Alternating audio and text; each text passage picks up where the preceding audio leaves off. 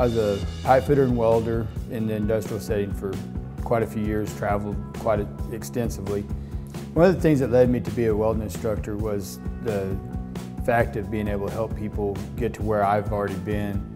I was tired of traveling, working maintenance in the plant. I'm getting older and climbing around 300 feet in the air. Welding's not my choice of things to do now. And so passing that on to somebody else, this craft that there's such a great need for that we have a demand that we can't meet right now. We teach them all the different processes in welding, uh, from stick rod welding to heliarc or TIG, gas tungsten arc welding.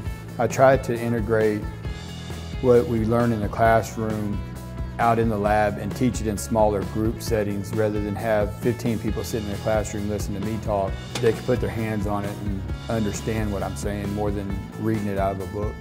If they excel throughout the program and get an associate's degree, they could look at pretty close to top money in the welding field, somewhere around $40 an hour.